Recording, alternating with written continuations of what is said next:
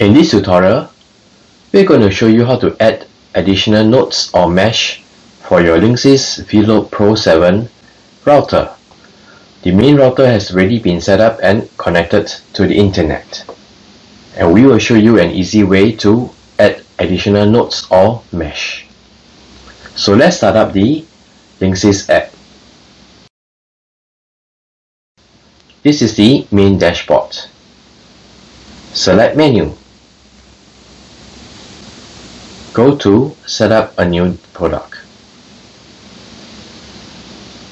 Select add a node to tech tips.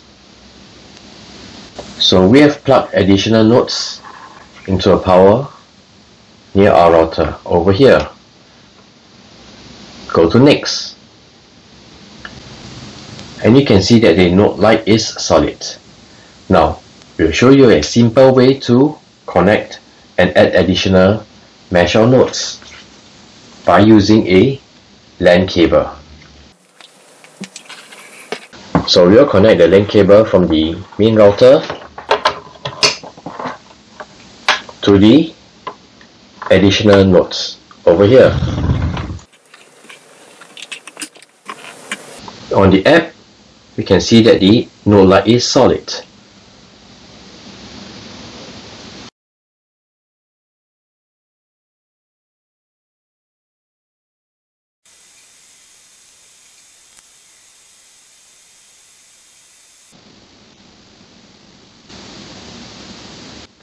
Now, the app is saying that they did not find any nodes. Let's go to next.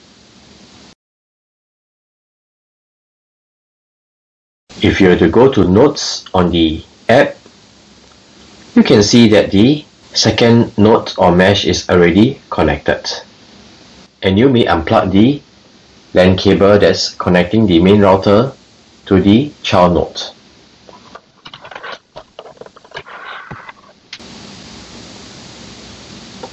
Take note of the LED on the child node.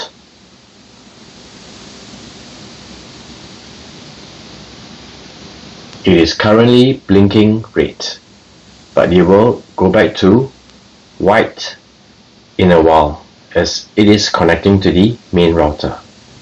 There you go. You may now place the child node a distance away from the main router and you will get a wider or expanded network coverage for your home. So this is how you add an additional node or mesh to your Linksys Velop Pro 7 router.